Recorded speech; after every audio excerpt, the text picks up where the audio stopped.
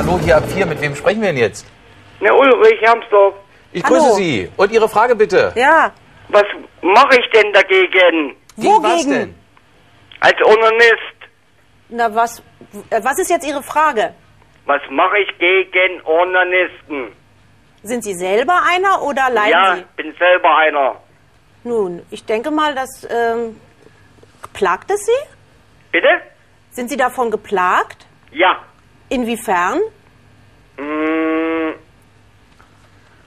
seit drei Jahren. Was heißt es seit drei Jahren? Also Sie können nicht anders, Sie müssen sich selbst befriedigen. Ja, genau so ist das. Und wie oft machen Sie das am Tag?